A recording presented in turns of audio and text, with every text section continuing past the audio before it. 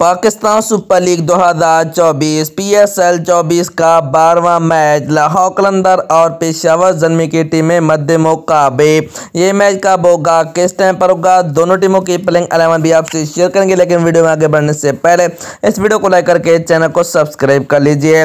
Pakistan super league दो हज़ार चौबीस के अभी तक दस मैचेज खेले जा चुके हैं, जबकि कल पच्चीस फरवरी को दो मैचेज खेले जाने हैं। पाकिस्तान सुपर लीग 2024 के 10 मैचेस खेले जा चुके हैं। कल 25 फरवरी को दो मैचेस खेले जाने हैं। पहला मैच मुल्तान सुल्तान और कोयटा ग्लेजिटर के दरमियान दिन के दो बजे मुल्तान में खेला जाएगा, जबकि दूसरा मुकाबला रात के सात बजे लाहौर, कलंदर और पेशावर जलमी के दरमियान मुकाबला लाहौर के कजाफी स्टेडियम में रात के सात बजे होगा।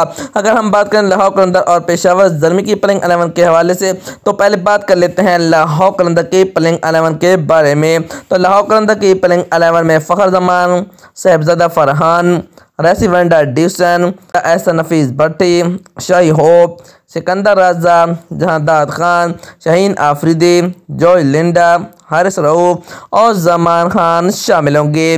जबकि पेशावर जलमी की प्लिंग एलेवन में कप्तान बाबर आज़म, सैम अयूब, मोहम्मद हारिस, हासिबुल्ला, रोमान पवन पोल वल्टर आमिर जमाल या आसिफ अली लेक वोड नवीन हक, सलमान ईशान और आरिफ याकूब शामिल होंगे।